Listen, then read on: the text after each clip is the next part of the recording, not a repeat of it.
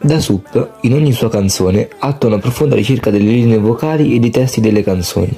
Partendo da quest'ultimi, il cantante usa una specie di neolinguismo tutto suo, pieno di inglesismi e parole con accenti spostati, pieno di parole spezzate per formare rime nuove, andando contro le leggi grammaticali.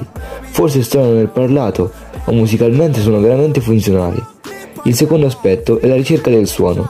La sub spesso dà più importanza ad esso che al testo. La prova è che i suoi testi non sono sempre comprensibili se non letti e crea delle linee vocali uniche.